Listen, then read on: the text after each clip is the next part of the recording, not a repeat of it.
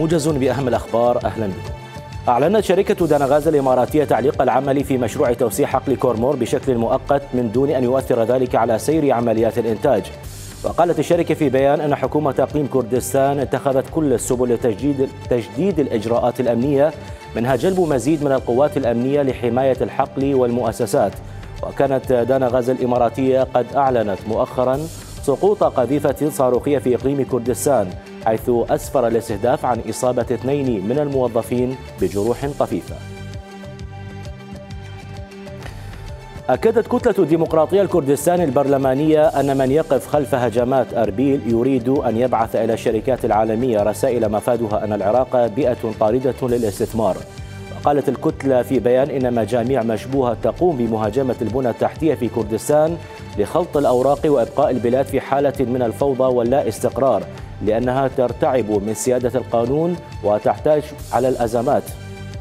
فيما أشارت إلى أن ملف استهداف الإقليم بصواريخ الكاتيوشا بحاجة إلى تنسيق عميق بين بغداد وأربيل والمجتمع الدولي داعية إلى إيجاد حلول جذرية لسد الفراغات بين القوات الاتحادية والبيشمركة على الحدود للحد من الهجمات وملاحقة منفذيها.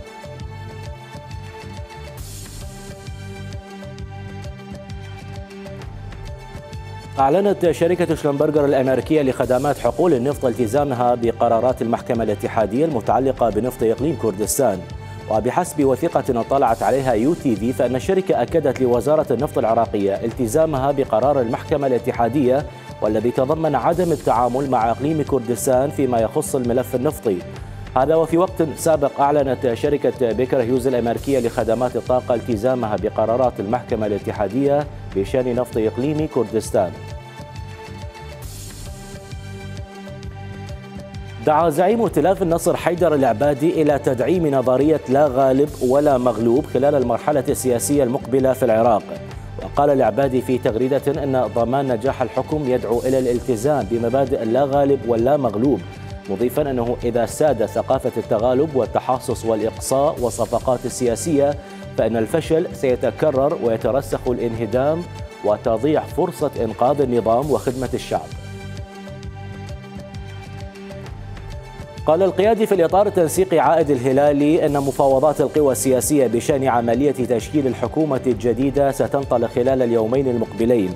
الهلالي أوضح في تصريح للوكالة الرسمية أن جميع القوى ستشارك في حوارات تشكيل الحكومة من دون تهميش وإقصاء أي طرف سياسي.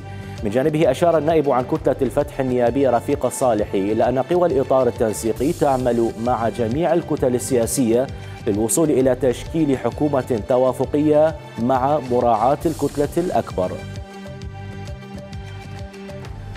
أعلن طهران استعداد الرياض مواصلة المحادثات على المستوى الدبلوماسي في بغداد. المتحدث باسم وزارة الخارجية الإيرانية السعيد خطيب زادة قال في مؤتمر صحفي أن رئيس الوزراء مصطفى الكاظمي نقل للحكومة الإيرانية نقاطا من السعودية بشأن المحادثات الثنائية.